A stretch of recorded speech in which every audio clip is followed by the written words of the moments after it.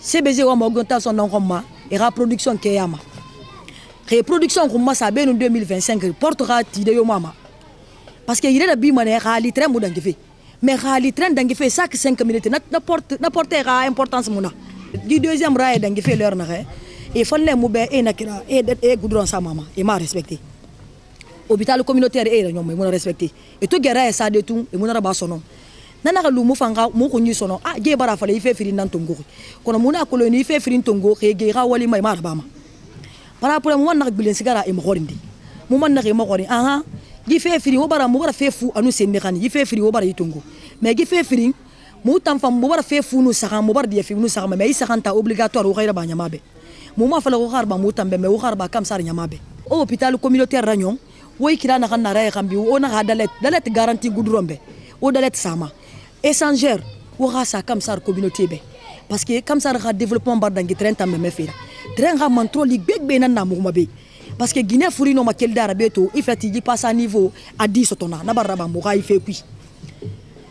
ifulo to tongo be parce que fo biri nga kun ti travaux na kiri nana ifulo to tongo i travaux be biri ki ga kan mi ani biri a ti tre me me fera na sa ya masoto na gbegbe baraba e parcellaire na ke sa ki di parcellaire de pe na ka sa fe to na mi ke brigande fe na fare ne ka se be ira eni mi ke eni mi ke mo bombo na ye ka se na so ko yi be nu 19 heures bande barte e do na konna xetam fa griya sa be bor sana re kam be bandi bar fa bor so be a sauver ma di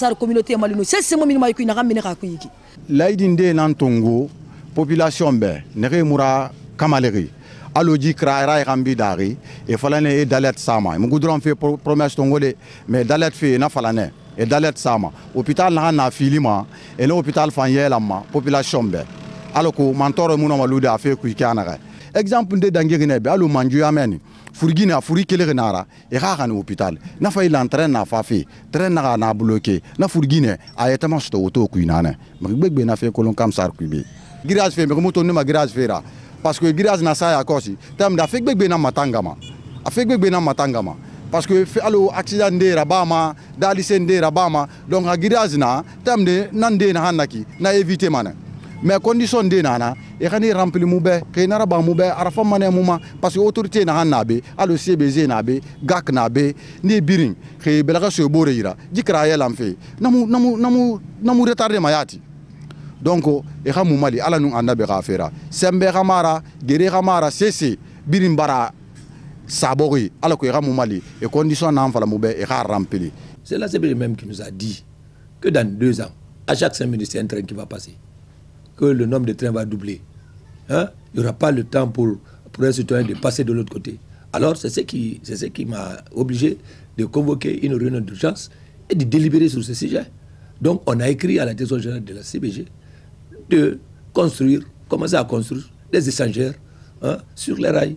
L'écrit là est, parti déjà. Donc il y a la preuve au bureau. La lettre que j'ai écrite, j'ai demandé des échangeurs euh, à Kamsar. Hein.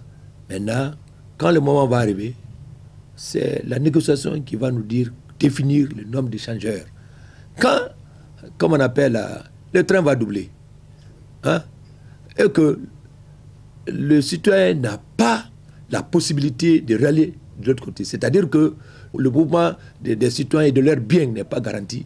Alors c'est la communauté internationale, ou bien c'est les prêtres même qui vont essayer d'en faire une exigence de, construire les échanges sur les rails de Kamsar.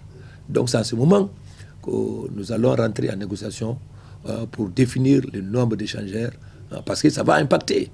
Quand nous prenons par exemple euh, Carrefour Kassongon, quand on va essayer de construire les rails là-bas, et comme on appelle un échangeur, la mosquée va partir.